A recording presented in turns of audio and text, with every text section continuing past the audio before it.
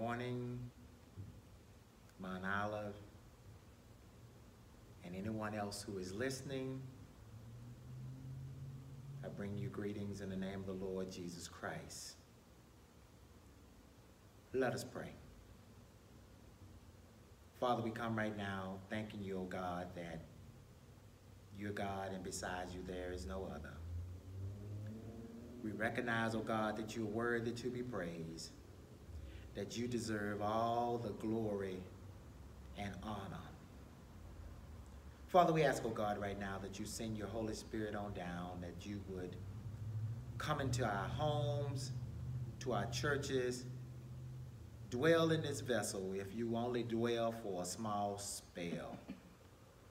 Father, we ask, oh God, that you would forgive us of our sins, that you would cleanse us up right now, God, that you would make us better today than we were yesterday. Help us to always strive to be better and better for you.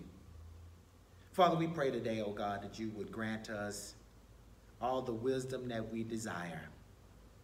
Father, we ask, oh God, that you would give us strength in our time of weakness. We ask oh God, that you would give us peace in the, midst of, in the midst of a troubling world. We ask, oh God, that you would give us good health, oh God, that you would heal our bodies, that you would make everything all right, oh God. We know that the coronavirus is running rapid, oh God, but we know that you are all powerful. And against you, the coronavirus doesn't stand a chance. But we understand, oh God, that you have granted us with wisdom, oh God, and so we will make good decisions. Father, we ask, oh God, that you would go into the prison walls. Father, we ask that, that you continue to, that we pray for our leaders, from the heads of the United States on down to the heads of the cities and towns. Father, we ask, oh God, that you would send a fresh anointing, oh God, upon me, oh God, that I may be able to preach your uncompromising gospel, that I may be able to preach your word, oh God, to a dying world. Father, help me to be all that I can be for you. We ask, oh God, that you allow the people to see less and less of me and more and more of you. And we'll be so ever to give you all the honor and praise. In the mighty name of Jesus we pray. Amen. And thank God. Today, before we get started, again, we want to go over a few announcements again. We're going to keep pubbing Bible study and prayer meeting. Amen. It starts at on Wednesday. We start getting on the conference line about 645. Goes to about 645, 745. Uh, I would say the number out, but I will let the deacons get the numbers out to you. Uh, we will uh, text GroupMe, any other fashion that we can do to get the word out to you. And this week, uh, our, our attribute of God that we will be discussing will be God is just. God is just. He's a just God. And as last week I told you, we're still uh, testing different technologies, GroupMe, Zoom, Facebook Live, YouTube. So we will continue to evolve in that area. And we ask that you be patient and pray with us as we navigate through this uh, difficult time. Amen.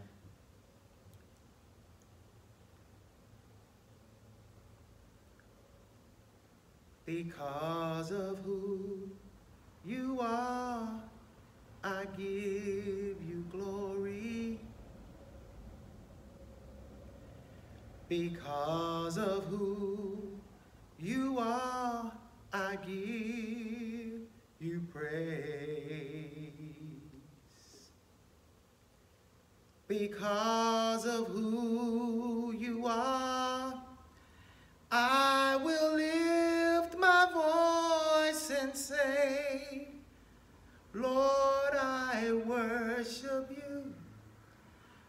because of who you are. Because of who you are, I give you glory. Because of who you are, I give you praise. Because of who you are, I will lift my voice and say, Lord, I worship you because of who you are. Jehovah Jireh, my provider. Jehovah Nisi, Lord, you reign in victory. Jehovah Shalom, my Prince of Peace. Lord, I worship you because of who you are.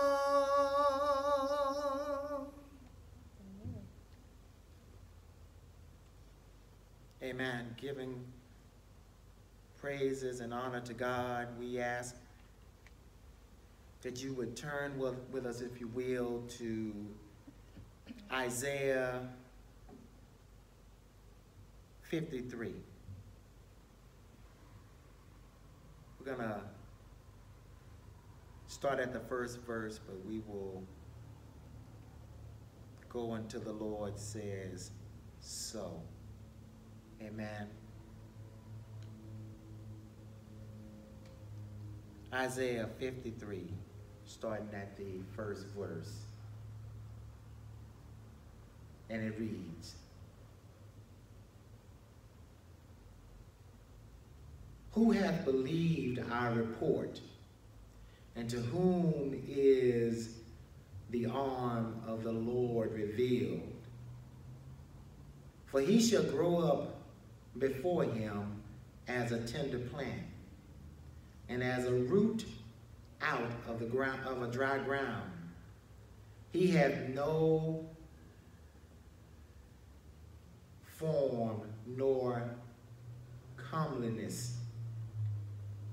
And when we shall see him, there is no beauty that we should desire him.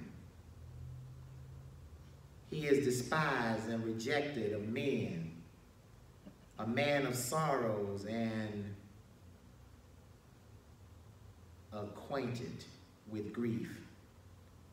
We hide, as it were, our faces from him. He was despised and he was esteemed, and we esteemed him not. Surely he hath borne our grief and carried our sorrows, yet we deemed him stricken, smitten of God, and afflicted. But he was wounded for our transgressions. He was bruised for our iniquities.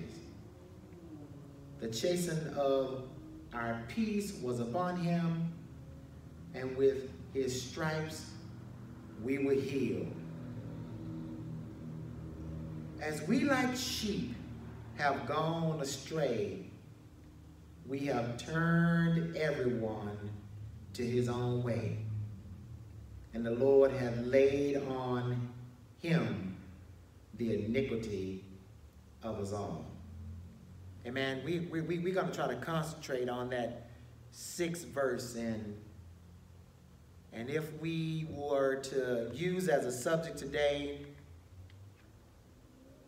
are you willing to let the Lord shepherd you?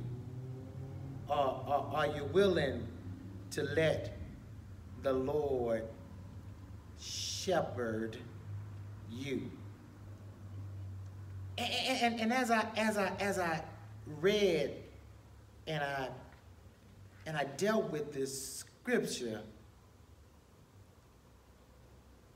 I said to myself, I said, well, before we can be willing to let the Lord shepherd us, we have to first know what a shepherd is.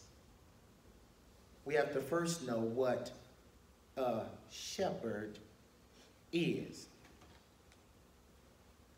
And so, so as I started to research, because we live in a day and time where we no longer farm, we no longer ranch, we don't do those kind of things. So when we refer to things like shepherding, I, I, I don't know if we really get the grasp of what a shepherd did. What is a shepherd? The shepherd is the one who cares for the sheep. The shepherd. The shepherd is one who, who cares for the sheep. Not, not, not only is he responsible for caring for the sheep, there, there are some duties that, that, that the shepherd is responsible for. He, he must feed them. Not, not, not only is he responsible for feeding the flock, feeding the sheep, he's also responsible for protecting them.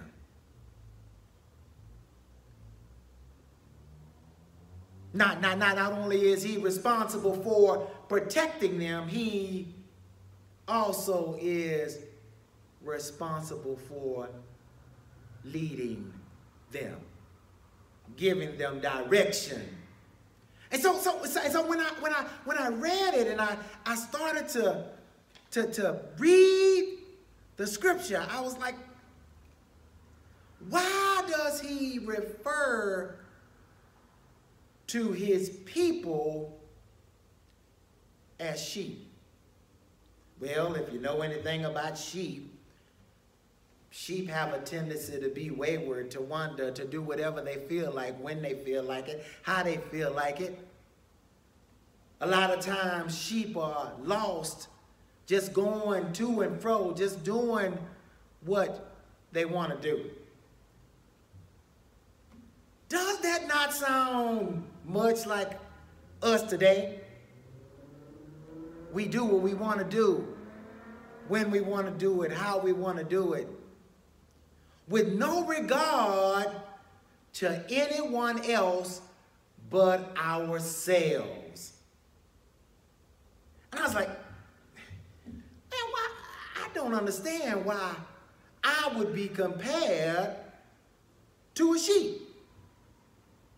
But it's very clear here in the sixth verse of the 53rd chapter that it says, all we like sheep. He talking about us. He, he, he's talking about us. That, that, that, that, that, that our, the things that we do and how we wonder are just like sheep. And I, so okay, okay, okay, I, I, I, guess I can get it. I guess we, we, we do have a tendency to stray. We have a tendency to do what we want to do. But I, and I looked at it and he said, the part that got me here though, he said, all. He ain't say, you know, once you, once you, you get saved and sanctified and filled with the Holy Ghost that you, you no longer go astray. And see, and that's the misconception that we have as Christians.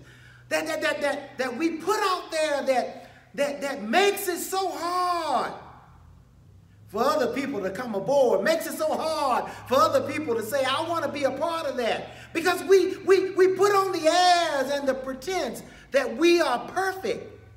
That once we accept the Lord Jesus Christ, that, that we don't never go off the beaten path, that we don't never ever do the wrong things, that we are always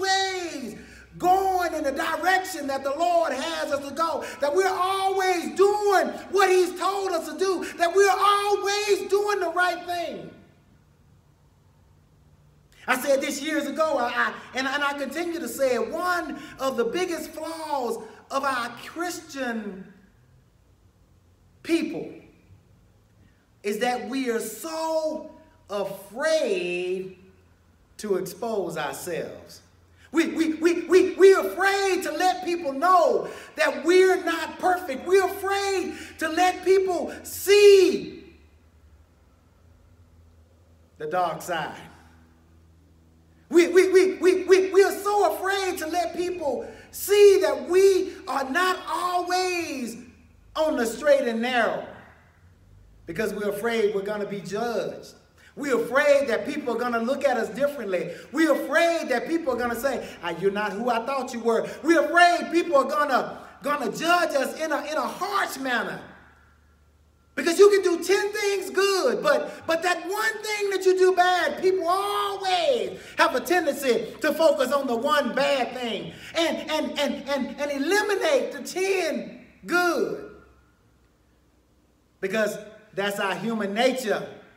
We want to find flaws in one another because, because we know that we are flawed. And if I can see your flaws, and if I can point your flaws out, it, it makes me feel better when I say and talk about your flaws.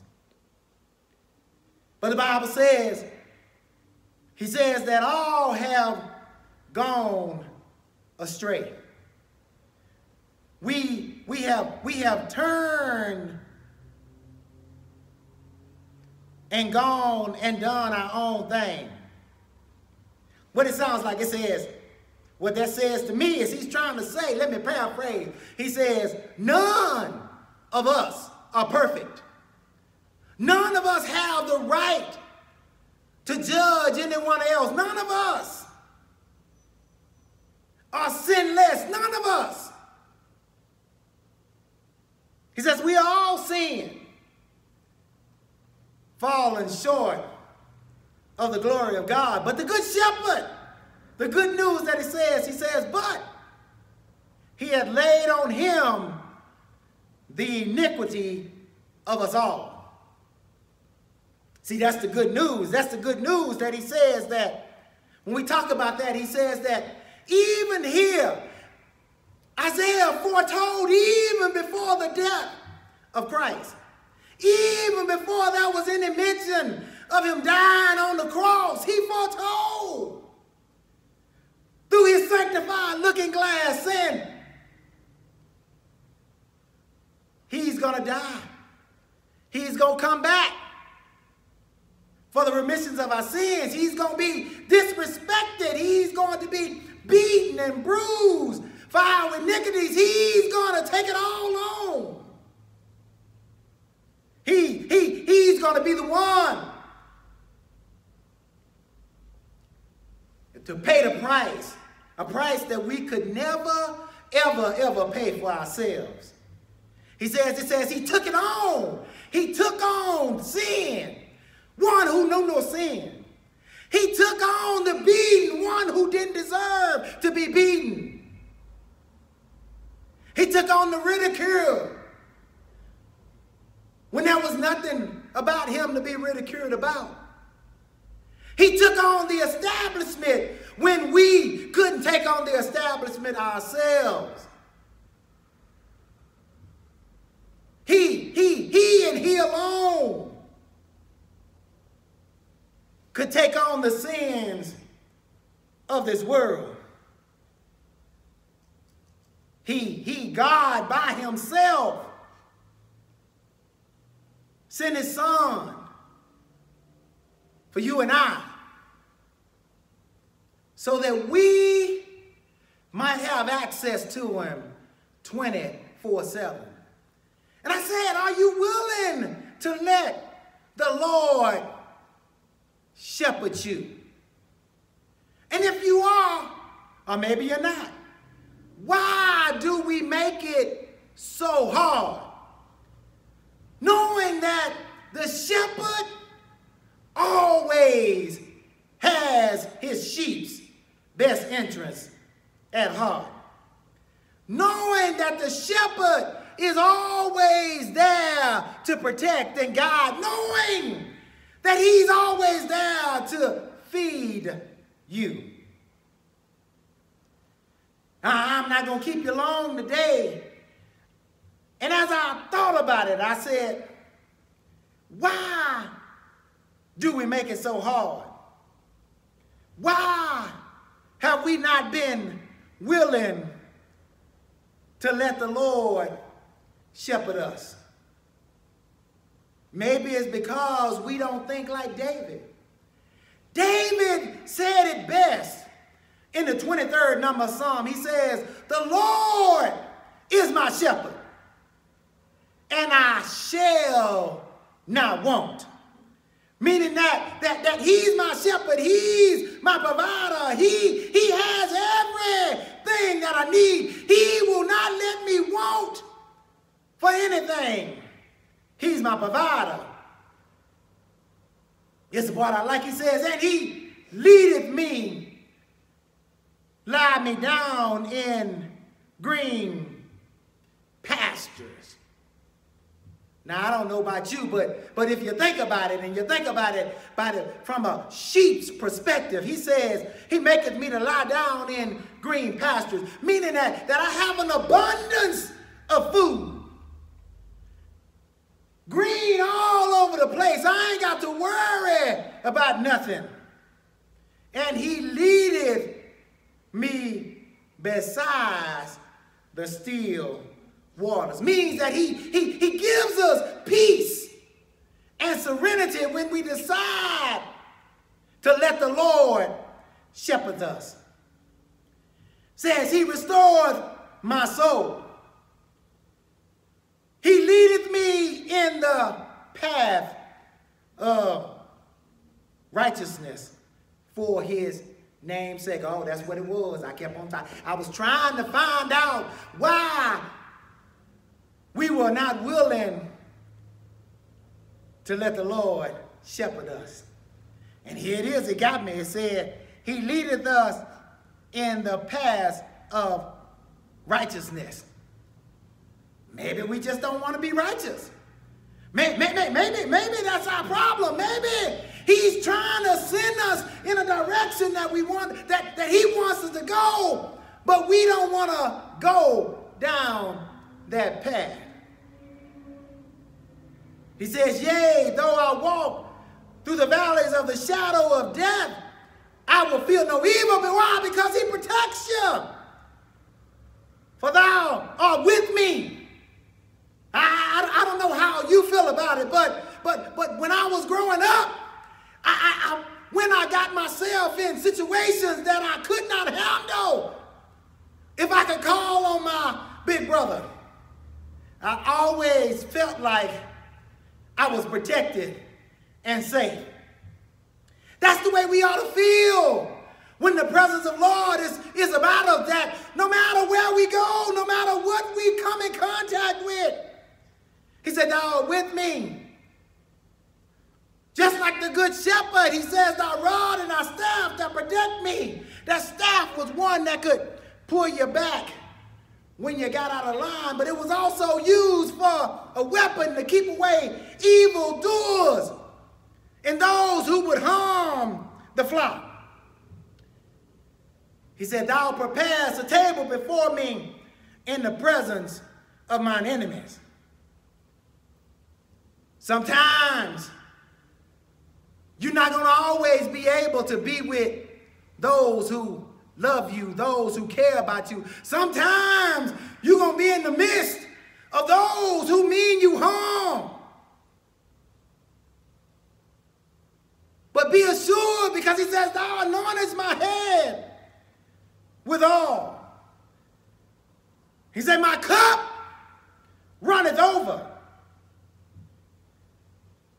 And this is the part I like. He said, But surely goodness and mercy shall follow me all the days of my life, and I will dwell in the house of the Lord forever. So David knew David was a man who had been through some things.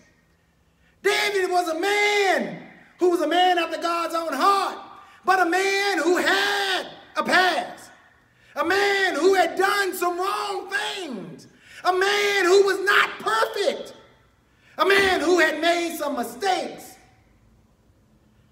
I challenge you today, let the Lord lead you because he's one who does not always hold what you did against you. He's one who's willing to give you another shot. If you are willing to serve him and he's willing to forgive you of your sins, why would you want to let someone lead you like that? One who, who, who, who blots out all your sins. One who died on the cross for you. One who protects you when you can't protect yourself. One who guides you where you don't when you don't know where to go.